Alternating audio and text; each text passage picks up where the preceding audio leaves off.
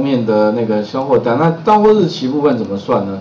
其实到货日期就根据它去查询什么，查询邮件这个工作表里面哦，这个栏位里面的这这个就是查到它，然后看是几天哈，比如说查前面的，取得后面的天数，那这个部分的话呢，我们就可以用什么呢？第一个啊等于什么？第一个它原来的订单啊订单的日期哈，那订单日期里面哦。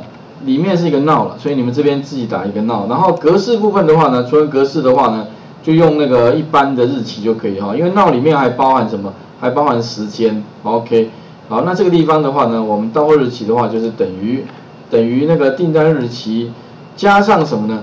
加上那个这个前面的时间啊，这个这个时间，然后去查什么？查后面的日期，所以这个地方要怎么去查到后面的东西啊？有几个方法，你这边的话呢？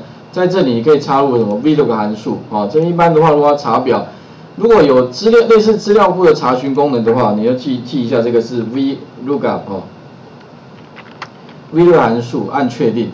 那这个 VLOOKUP 函数里面的话，LOOKUP value，value 的话就是这个。这个值里面的话，那 Table Array 就对照表，对照表看你有没有建立名称范围，如果没有的话，直接点这边，然后把这个范围选取，选的时候不要选到标题哈。然后它会跳出来，这个 table array 是呃邮件 A 二到 B 四的范围。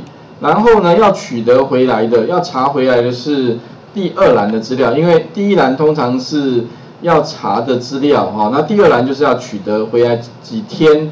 那几天之后，因为呢订这个订单日期加上几天之后哦，那就是我们的到货日期。那比对方式的话，如果零的话就完全比对，OK 哈。好好之后的话，这这边的话，我们就直接按确定。确定之后的话呢，就可以查出啊我们要的这个日期。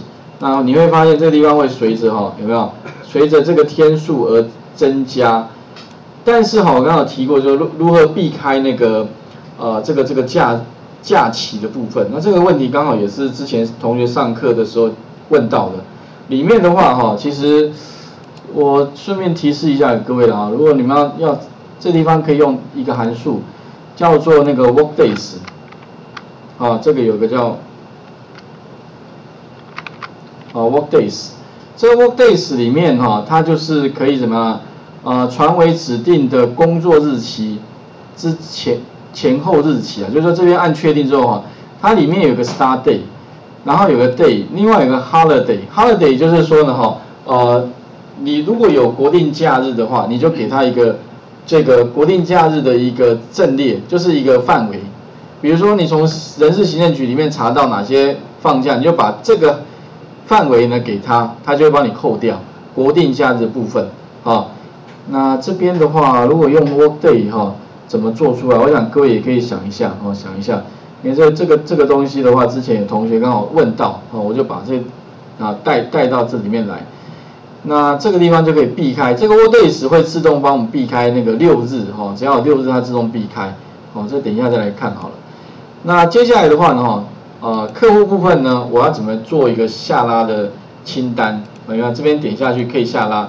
那下拉的部分的话呢哈，客户部分呢，其实第一个哈，我们最简单的方法我刚刚讲过，你可以怎么样，在这个范围怎么样，先选取客户名称，然后呢，点到公式里面从选取范围建立。